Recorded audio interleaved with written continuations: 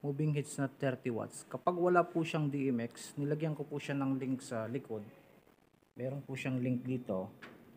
Ayan. Sabay-sabay na po ang ilaw niyan.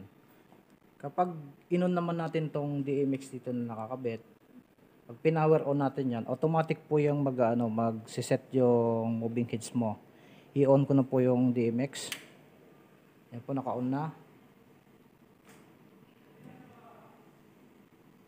Yan po. Automatic po yan magsiset yung ano mo, yung moving heads mo.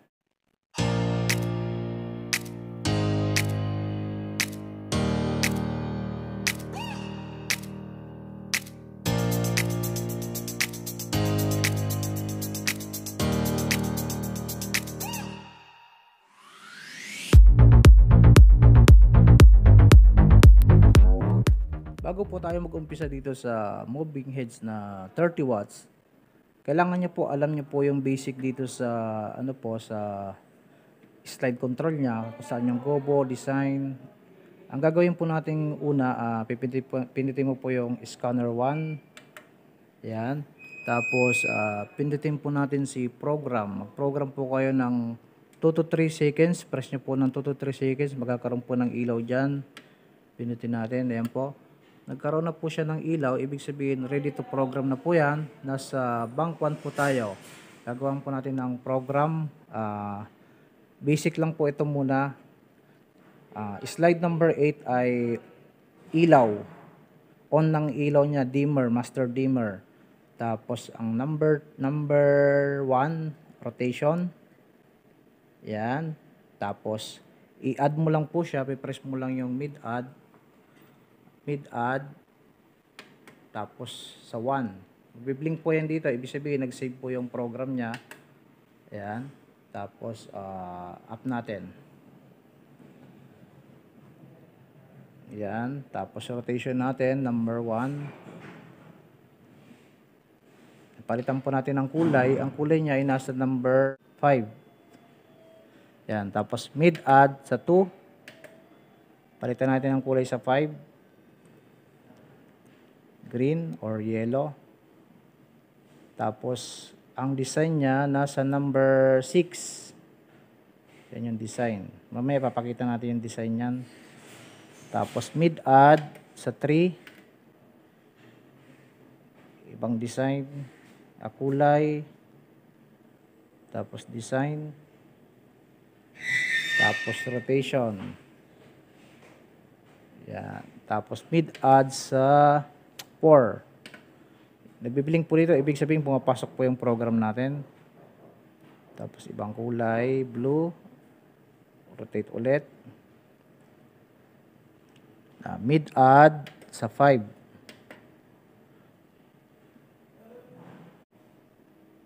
Uh, palitan design, palitan kulay.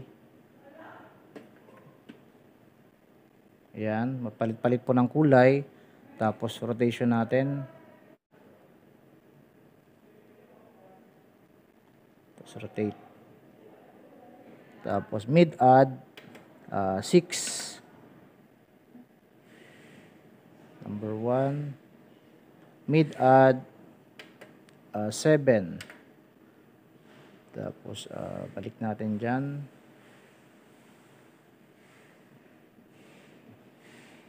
Pwede po natin i-blinker yan eh, i-strobe. Ito po oh.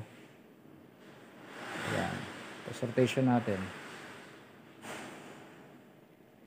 Mid-add 8. Ito pong ginawa kong program ay bank 1 lang po ito.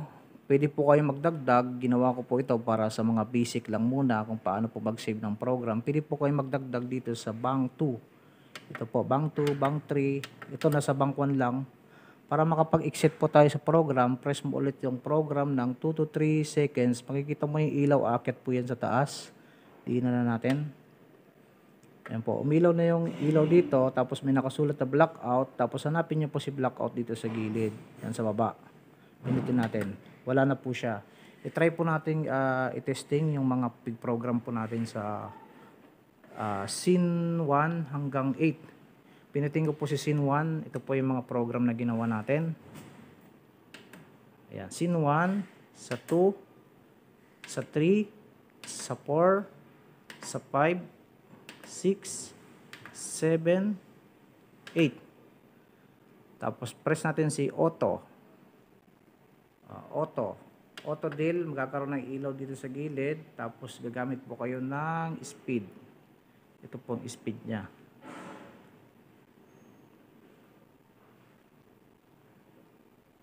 Yan po. Bali, nag, tumatakbo na po yung ano natin, yung ginawa nating program. Makikita mo yung sa gilid dito, may tumatakbong number. Ibig sabihin, tumatakbo itong scene 1 to 8. Kaya yan po yung laro ng moving heads natin. Tapos, pwede po pong bagalan. Gamit ko po ng paid time dito. Angat po itong paid time. Medyo babagal po ang ano niya, ang galaw niya. Yan. Tapos, pwede mong bawasan ng speed.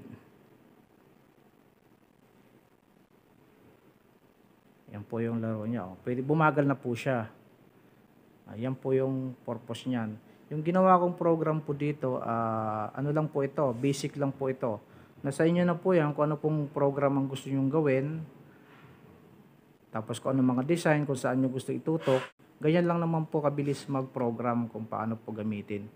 Sa mga beginner po nag-aaral dito, ganyan lang po pag-program. Tapos baba natin paid time.